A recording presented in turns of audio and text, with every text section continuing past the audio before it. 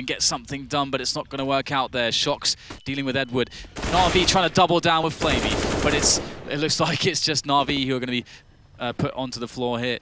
G2, fantastic fragging from them.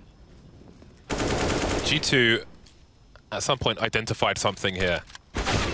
Changed the game and took almost every round after that. Na'Vi had a good start, but that was swiftly taken away by G2. Got them